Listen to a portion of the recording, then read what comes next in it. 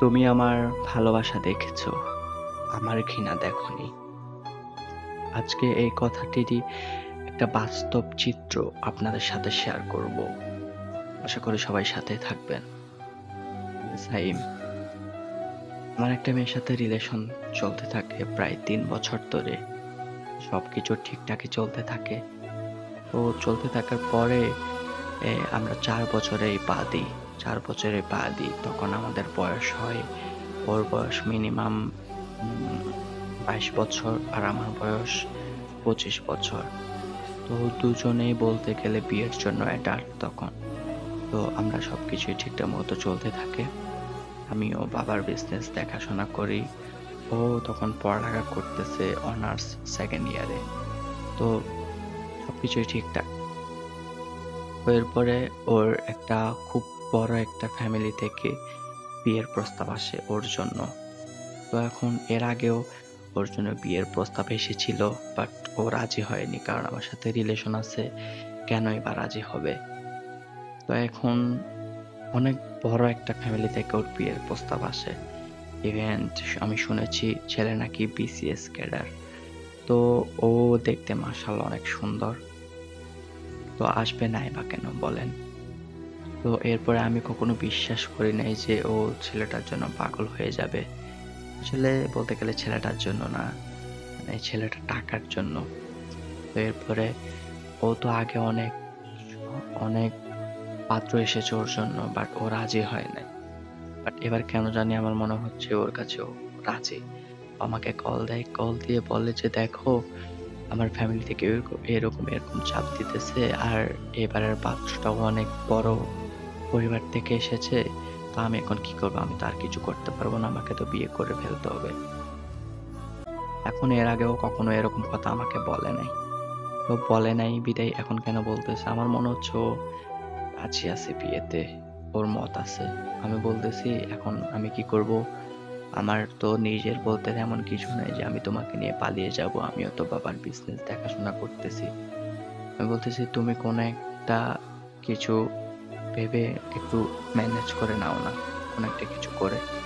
ও বলতেছে এবারেরটা আমার কোনোভাবে ম্যানেজ দেওয়া সম্ভব নয় এবার একটা বাবা অনেক জোর করতেছে আমাকে, এখন আমি কি করব? আমার তার কিছু করার নেই। এখন এরকম করতে করতে চলে যায় এক মাস। এক মাস চলে যাওয়ার পর ও একদিন আমাকে কল দিয়ে বলে, আমার বিয়ে ঠিক হয়ে গেছে অ্যান্ড আমার আগ্ধ হয়ে গেছে, ওরা আসছে আমাকে দেখছে। তো সবকিছু ফাইনাল এখন আর কিছুই করা সম্ভব না। আমি বলতেছি, তুমি আমাকে তোমার আগ্ধ হয়েছে একবারও তো জানাও নাই। ও বলতেছে যে, আমি জানাইতে পারি নাই। আমার বাবা মা সবাই আমাকে প্রেশার দিতেছিল যে, তোমার সাথে ব্রেকআপ করার জন্য। তো এরপর আমি বলতেছি, বুঝছি। বলতেছি যে তুমি আমাকে মাফ করে দিও। এবং আমি বলতেছি, মাফ তো তুমি জীবনেও পাবা না। তুমি যেটা করছ, এটার জন্য তুমি জীবনেও মাপ পাবা না। তো এরপর সবকিছুই ঠিকঠাক, এরকম করে এলোমেলো ভাবে চলতে থাকে। তো এরপর ওর একদিন বিয়ে হয়ে যায়। তো বিয়ে হয়ে যাওয়ার পর আমার আর তেমন একটা কিছু করার থাকে না। বিয়ে হয়ে যাওয়ার পর শুনি যে ওর জামাই নাকি আরও দুইটা বিয়ে করেছে। ইভেন টাকা পয়সা ছিল, বিদায় সবকিছু ধামা চাপা দিতে পেরেছে। আগেও আরও দুইটা বিয়ে করেছে এবার ওকেও বিয়ে করেছে। তো সবকিছু মিলে আমি খুশি হই। এরপর ও আমাকে কল দেয় কল দিয়ে অজরে কান্নাকাটি করতেছে যে আমি ওকে ফিরিয়ে নেওয়ার জন্য ও নাকি ওখানে সুখে নেই। ওর ওর না জামাই আর যে দুইটা বিয়ে করছে, ওই দুই ওর দুই বই- বউটা নাকি ওকে খুব চালায় তো আমি বলতেছি যে, তুমি আমার ভালোবাসা দেখেছ, কিন্তু আমার ঘৃণা দেখোনি। এখন থেকে তুমি আমার ঘৃণাটাই দেখবা। এরপর আমি ওকে ব্লক করে দিই। আমি এরপর ওকে ব্লক করে দেওয়ার পর ও আবার আরেকটা নতুন সিম নিয়ে এখান থেকে আমার কল দেয় কল দিয়ে আমার আমার কাছে কান্নাকাটি করতেছে, বলতেছে যে, তুমি এরকম করতেছে কেন? দেখো, এরকম করিও না। আমার এখন তুমি ছাড়া আর কেউ নেই। তো আমি ওকে অজরে গালাগালি করি। ওকে যা আসে তাই বলতে থাকি। অজরে গালাগালি করি।